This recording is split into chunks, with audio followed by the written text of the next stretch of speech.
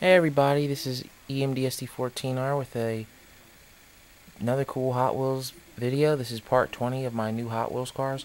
You guys have already seen this, these cars, in my um, new trains, new cars, and 400 subscribers video. But I'm putting them in their own separate video because that's what I said I was going to do. Um, so that's what I'm going to do. Put them in their own little separate video.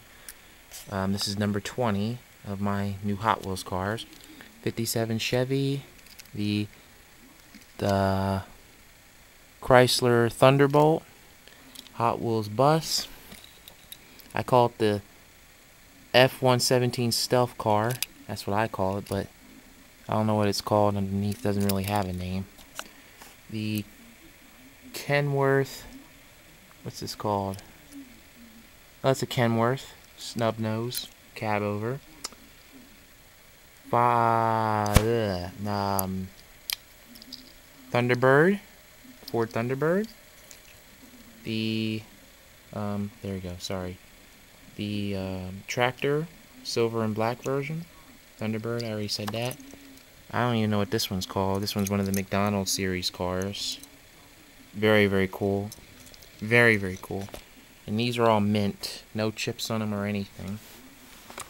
Then we have the 2003 first editions. Number 10 out of 42. 8 crate. Then we have the um, anime series. The Oldsmobile Aurora GT SI. The 1995 model series, 7 out of 12. Dodge Ram 1500 and I got this from Kmart. This is the AEM S2000. So all these came from Nicholas Smith Trains. While this one came from Kmart. So let's open these babies up. And this is from the metal collection. And it's got the Hot Wheels Highway 1968 to 03. Oh, that was pretty easy. Oh, wow. This thing is nice. Wow. Although the, the, the bottom of it kind of feels, it kind of feels a little, little dainty in a way. Like you squish it on there, it kind of feels like a little squishy there, but this is really nice. Look at that engine in there. Nice. Rolls good.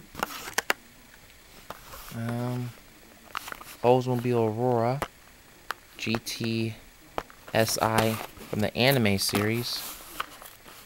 You guys can see how yellow that plastic is. It's a testament to how long it's been sitting. Wow. Oh, this is nice. Look at that. It says Unit 1. Cool. That is mean. Look at that. Oh wow, and it's got it's got a wide body kit on it too. Well, it's actually a wide car, but that is so mean. In a good way though. 1998. I was eight years old when they made this one. Oh, that's nice. Look at that. Awesome. And let's do the 15 Ram, Dodge Ram, Ram 1500. Oh, and it says removable camper. Ooh. I look forward to this one. Let me see if I can get it open. Come on, come on. There we go. Wow. This thing is mint. Of course it would be mint, but look at that. And they said removable camper. Now I do have a couple of the Dodge Rams, but... Hmm, how do you open this thing?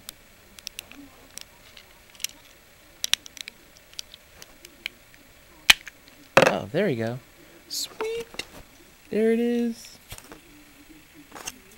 There's a removable camper part. Right there.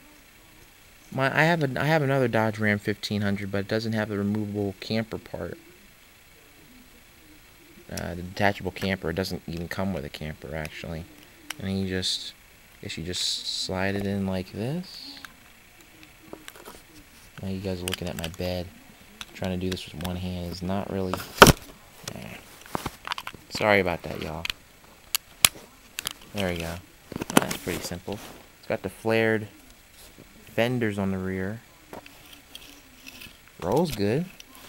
It's pretty heavy, too. I still don't understand why they didn't... I Okay, I understand why. Because they didn't want to make it weak. If they punched out the back window there. They could have put clear plastic in there, though. But it's okay. It's very detailed. Very detailed. It says 1994 on here. But it says 1995 on there. Hmm. You'd think they'd be the same year. That's okay. I ain't complaining. And then now for the AEM S2000. I really was skeptical about getting these at first, getting this one at first, or any of them, because I didn't like the way the blue finish looked on most of them. But this one, the way it looks, it looks like a a chrome finish, you know what I mean? It's it's a lot different than any other ones I've seen. It's kind of like a bluish chrome silver color. And this one was actually the best one that I've seen. So I had to snatch this one up. Now, I do have one of these. It's not this one, but it's a silver one. It's when they first came out. All silver. And um, looks just like this, except it's silver. I don't know if the details are the same, but uh, it's very nice. Rolls good, but that paint is just awesome. But yeah, there you go. That's that. This, this is them right there. And this Aurora is heavy. It is really heavy. It is not no toy. It is really heavy. This is a real nice concept car. Haven't I haven't seen anything like that since. This is a really nice one. Oh, I'm gonna have fun playing with this truck. I think I got a couple. I think I got a trailer for it. I'm not really sure though, but it's mint. Now, I did take it out of the bag, and I noticed there was like a little scratch there on the front. Probably it wasn't there in the other video. I don't know if it was there, but yeah, other than that, it's mint. There's the Hot Wheels bus, one of them. Well, I have like three of those now. Oh, oh yeah, by the way, these can actually be removed. Um, let me see if I, oh, that's my face. yeah, take a look. Yeah. I don't know if you guys noticed, but it's it's a tractor and it can be removed. You just snap this back in here like so. You take these little things down here and you pop them into these holes. See if I can get them in those holes. They're already in the holes.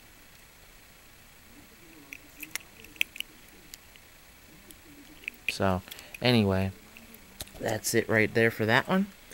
Another Hot Wheels McDonald's edition. Looks really mean. I like it. And then the Ford Thunderbird. This one I think is the removable hardtop version. I don't know if I know they had a convertible, but then they had a removable hardtop version too. Yeah.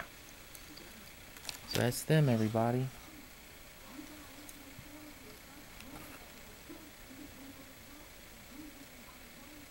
That's them. Hot Wheels and New Hot Wheels and Matchbox Cars Part 20.